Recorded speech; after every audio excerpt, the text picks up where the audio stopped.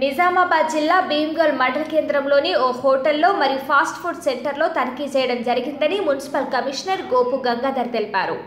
కల్తీ ఆహారం విక్రయిస్తున్న హోటల్ యాజమానులకు జరిమానా విధించడం జరిగిందని తెలిపారు. ప్రజలకు నాణ్యమైన ఆహారాన్ని అందించాలన్నారు. తప్పనిసరిగా పరిశుభ్రతను పాటించాలన్నారు. ఇక మున్సిపల్ చట్టం ప్రకారం కల్తీ ఆహారాన్ని విక్రయించినచో జరిమానా విధించి కేసులు నమోదు చేయబడుతుందని కమిషనర్ హెచ్చరించారు.